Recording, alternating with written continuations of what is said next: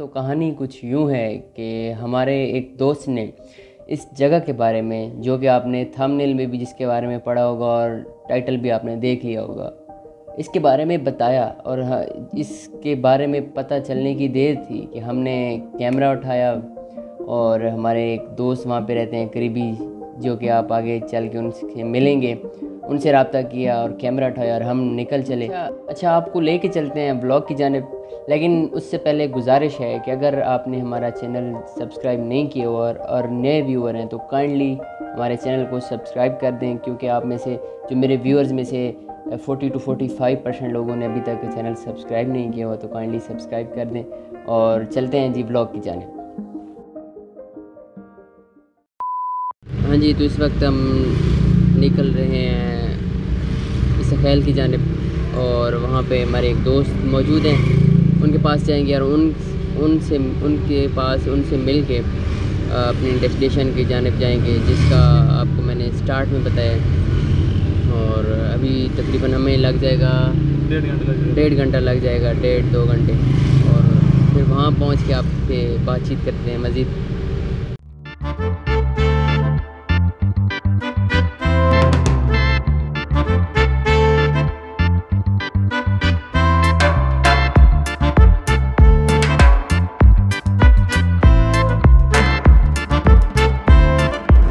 इस वक्त हम रस्ते में हैं और गर्मी, शदीद किस्म की गर्मी है यहाँ पे। रोड तो काफ़ी, रोड तो काफ़ी गर्म है और इसीलिए आज हमने मीन के, अक्सर आपने पहले ब्लॉग में देखा होगा कि हम बाइक पे सफ़र करते हैं। लेकिन आज हमने कहा कि नहीं लोकल पे जाएँगे। गर्मी क्योंकि बहुत ज़्यादा होती है।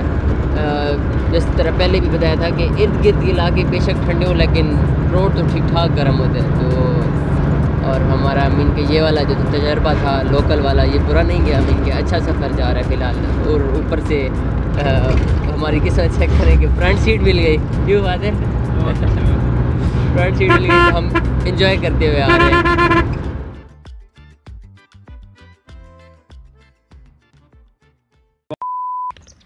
इस वक्त हम मौजूद हैं कलुआ वाला तहसील इसखैल में और टाइम हो रहा तकरीबन एक डेढ़। चूँकि गर्मी काफ़ी ज़्यादा है तो इस वक्त तो हम दरा तंग की तरफ़ नहीं जा सकते क्योंकि वो पहाड़ी इलाका है और इस वक्त तो शदीद गर्मी होगी। और इस वक्त हम आए हैं जी ट्यूबवेल और अभी वो चला नहीं है, उसके इंतज़ार में बैठे हैं। और इस साइड पे बैठे हैं जी फातर एजाज। और आपको एक नए दोस्त के साथ इंट्रोड्यूस कराते हैं आपको, जनाब मुशाहिद मुशाहिद हुसैन सैयद। और आप बताएँ ज़रा कि कलुआ वाला किस हवाले से मशहूर है? ज़रा बताएँ। कलमा वाला एक तारीख़ी शहर है बहुत ही पुराना कदीमी शहर है कलमा वाला। ये अपनी किसकी वजह से मशहूर है? कुछ देखते हैं। अच्छा चलें फातिर से पूछते हैं कि कलमा वाला किस बारे में मशहूर है? किस वजह से मशहूर है? यार देखें ना कि ये एरिया मतलब सेंटर में है पंजाब और के पी के के तो यहाँ मतलब काफ़ी मतलब कल्चरल डाइवर्सिटी बहुत ज़्यादा है। यहाँ पठान भी बहुत ज़्यादा हैं पंजाबी भी सराइकी भी तो हाँ। बिल्कुल काफ़ी मतलब लोगों में ना कल्चरल में डिफरेंस बहुत होता है वैरायटी है। हाँ जी बिल्कुल मीन कि ये आप यूँ कह सकते हैं ये जॉइंट है। मीन कि वहाँ से के पी के टच कर रहा है यहाँ पे इधर इसी कलुआ वाले में मज़ीद मीन के काफ़ी ज़्यादा कल्चर हैं तो काफ़ी ज़्यादा कल्चर्स का ये मिक्सचर है।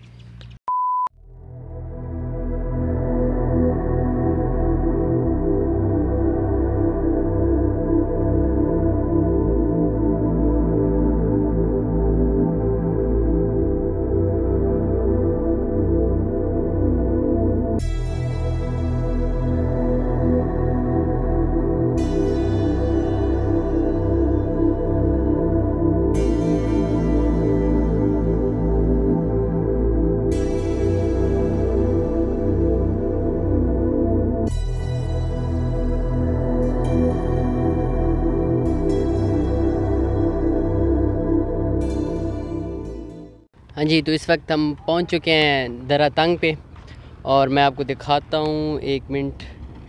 ये पीछे पुल है। इधर से हमने इधर से होते हुए ये रोड है और इधर से होते हुए इधर आए हम और इसके लेफ़्ट साइड पे जो आपको नज़र आ रहा था सीन में, पुराना पुल, उसकी जानब जा रहे हैं और वहाँ पे दिखाते हैं उस जगह के सीन आपको। पीछे की जानब आपको दिखाता चलूँ। ये पीछे आपको नज़र आ रहे हो कैमरे में। ये पहाड़ है। और ये इस साइड पे मेरे सामने, ये देखें। ये है जी दरा तंग का पुल नया पुल। और ये एक पुरानी सी बिल्डिंग है, इसका मैं आपको व्यू दिखाता हूँ। ये देखें, ये बिल्डिंग है, इसकी मैं अभी बात कर रहा था। ये आई थिंक जिसका स्ट्रक्चर बता रहा कि ये ब्रिटिश दौर की बनी हुई है, और ये नीचे से दरिया पास हो रहा है, और हम आगे की जानब जा रहे हैं, और ये पीछे बाइक पार्क।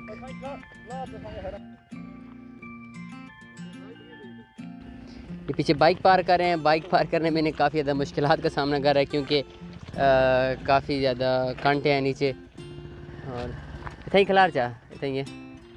खिलार चाह यहाँ पे करेंगे बाइक पार्क और चलेंगे जी आगे की जानब। अच्छा इस इस जगह की खसूसियत के बारे में अगर हम बात करें तो ये जगह जी है के पी के का स्टार्ट। लकी मरवत के अंदर आता है ये इलाका, अंधरा तंग। और यहाँ से मैं इनके मियाँ, ज़िला मियाँ वाली की हदूद से हम बाहर आए हुए हैं। और ये मनाजिर आपको चेक कराता हूँ पीछे। ये पहाड़ हैं जी। और, ये पार्टी हो रही है। और ये जी, मेंशन किया जिस मैंने पहले भी, ये नया पुल है दरा तंग का। और इधर से हम ये स्टार्ट हो रहा है, यहाँ से आपको दिखाता हूँ आगे। पुराने पुल की जानब जा रहे हैं। ये जो इस साइड पे जो पहाड़ियाँ देख रहे हैं, ये दरातंग की पहाड़ियाँ और हाँ ये जो, ये पुल है, पुराना पुल। एक्चुअली ये पुल है जी, उसके लिए, रेलगाड़ी के लिए पुल बनाया गया था ये। और जो कि अभी बिल्कुल नकारा पड़ा है।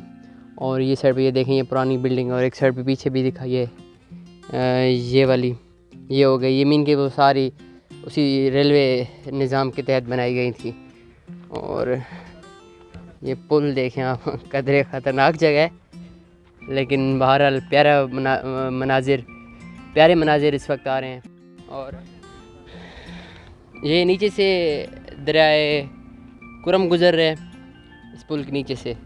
मीन के अभी तो इतना कोई ख़ास नहीं है कुछ भी नहीं है बल्कि खाली पड़ा वैसे अगर मीन के जब कभी सीज़न आता है सलाब वगैरह का तो यहाँ से दरियाए कुरम गुज़रता है।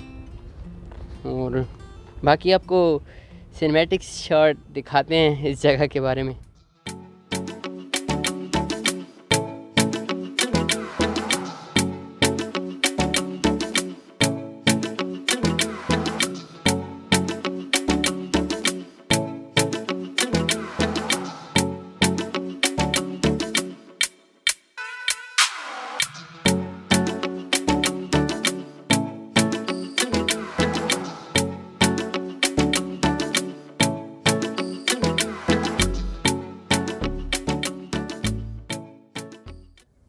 जिस तरह आपको आपको पता है कि पाकिस्तान में जो ब्रिटिश दौर की चीज़ें थी, जो ब्रिटिश दौर का कल्चर था या सिस्टम था, उसको बरकरार रखना तो दूर की बात, जो मीन के, जो उनके ज़ख़ायर पाए गए हैं, वो भी ख़त्म कर दिए गए हैं। मीन उनका कुछ ख़ास ख्याल नहीं रखा गया। उसी तरह ये पुल भी आपको जिस तरह मैंने उस साइड पे दिखाया गया, ये बिल्कुल टूटा हुआ पड़ा है।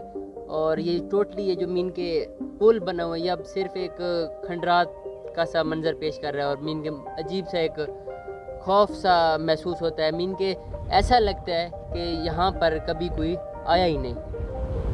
अगर हम इस साइड पे देखें तो लेफ़्ट साइड पे जो है दर तंग की पहाड़ियाँ और इसी साइड पे, इसी के मीन के आगे की जानब कुंडल की पहाड़ियाँ और नीचे ये जो है द्रय कुरम बहर है, जो कि मीन के अफ़गानिस्तान के, अफ़गानिस्तान से आ रहा है और इसके राइट साइड पे भी इस तरह आपको मेरे कैमरा मैन अगर दिखाते चलें, इसके राइट साइड पे भी दर तंग की पहाड़ियाँ मौजूद हैं। अगर हम दर तंग की खसूसियात के बारे में बात करें तो जिस तरह ये सामने आपको जगह नज़र आ रही होगी तो इसके पार काफ़ी ज़्यादा सूफिया कराम के मज़ार भी पाए जाते हैं।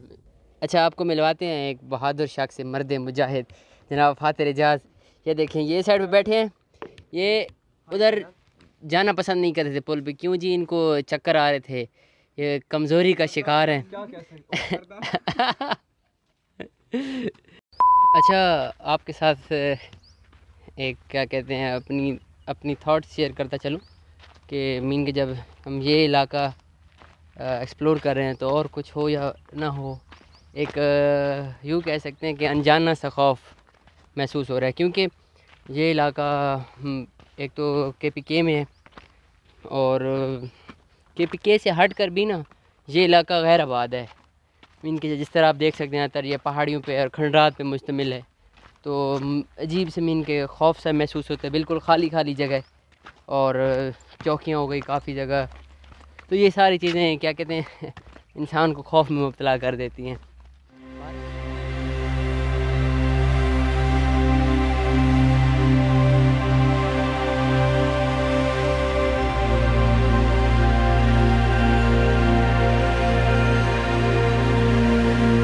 ये था एक छोटा सा ब्लॉग दरा तंग, लकी मरवत के पी के की जानब। और यकीन माने इस ब्लॉग को शूट करने के लिए काफ़ी ज़्यादा एफर्ट लगी। मीन कि इस गर्मी के मौसम में, हम लकी आए और ये ब्लॉग शूट किया। बहरहाल, अगर आपने हमारा चैनल अभी तक सब्सक्राइब नहीं किया तो काइंडली सब्सक्राइब कर दें, अपने दोस्तों के साथ शेयर करें। और हाँ कमेंट ज़रूर कीजिएगा। मैं और ज़रूर किया करें कमेंट, आप सब लोगों के कमेंट में पढ़ता हूँ। और अगर सजेशन होती हैं कोई ना कोई तो आप ज़रूर लिख दिया करें। मैं वो भी पढ़ूँगा और उन पर अमल भी करूँगा। और मिलते हैं इन नेक्स्ट व्लॉग में। अल्लाह हाफिज़।